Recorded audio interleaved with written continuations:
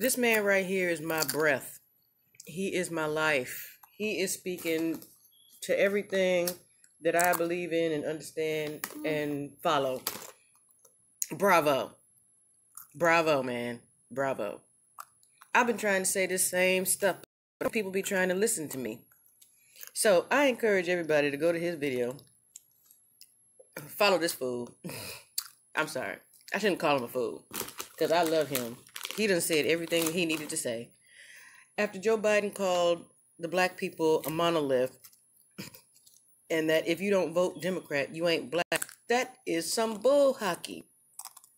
He says he's independent. I know good and dang well I'm libertarian. Point blank and period.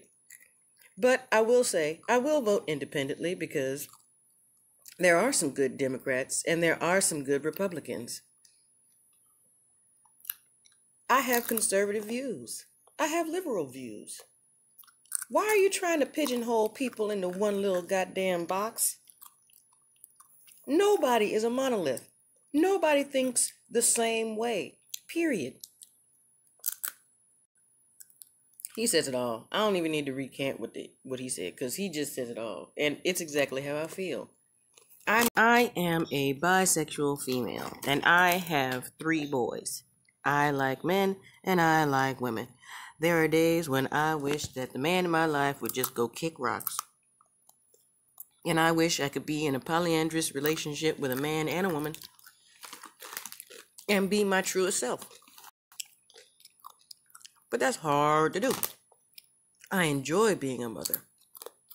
I have feminine tendencies and I have masculine tendencies. So what? But this is getting ridiculous. Look at this mess.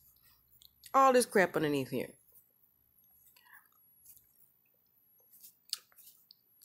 Tulsi Gabbard, she has some serious stuff going on. She was running Democrat, but she should be a libertarian. I know why she didn't do it. Because don't nobody want to pay attention to libertarians. Don't a single person in the Tea Party. Don't a single person want to listen to anybody in the Green Party.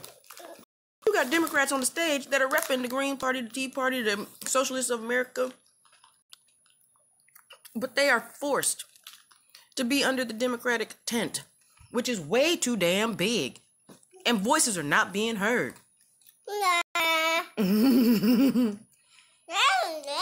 yeah, voices are not being heard. They're being flat out fucking ignored. And this this country is going to hell in a handbasket. I'm gonna tell you, like I told my sister, the trumpets have sounded. Donald Trump and Mike Pence have made their intentions known. We are up against Biden and it needs to stop.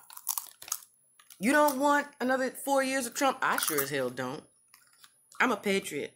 I'm conservative. I get it. I know why he was voted in. I understand thoroughly. He was different. He's not a politician. Cool. No, I didn't vote for him. but understand why he was voted for. People are saying that they're sick and tired of the Democratic Republican bull hockey. So, why don't we really tell them that we're sick of it and vote third party? Don't give me stupid excuse. Oh, they're not viable. They're only 5% of the vote. You do realize that the only reason why they're 5% of the vote is because yo behind, who knows what they're saying is true, ain't voting for them. Vote for them. Vote for them. Ah! my son just emptied out an entire bag of chips on my bed. That's why I can't post regularly. But I'm gonna tell you right now vote for them. Stop making excuses. Don't give me no victim. Vote for them. Y'all want to be protesting in the streets? Okay, well, vote test at the ballot box. You scared about mail in voting? Go down to your election board of elections and vote in person. You have a smartphone in your hand. Use it. Ask Google, ask Siri, ask whoever the hell it is, your AI. How can I vote in person? Early. Get off me, little boy. Go do it. I, I fully intend to do so.